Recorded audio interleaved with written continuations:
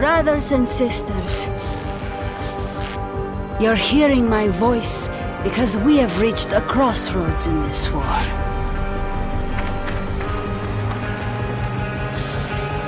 We know now that no miracle is coming. That simply surviving is a slow death.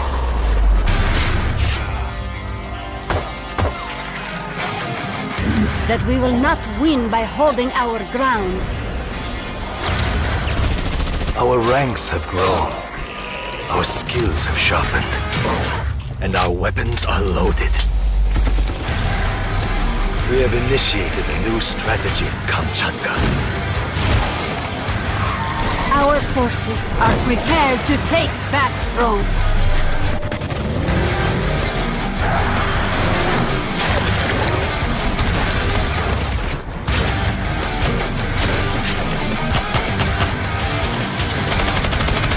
We will not hide.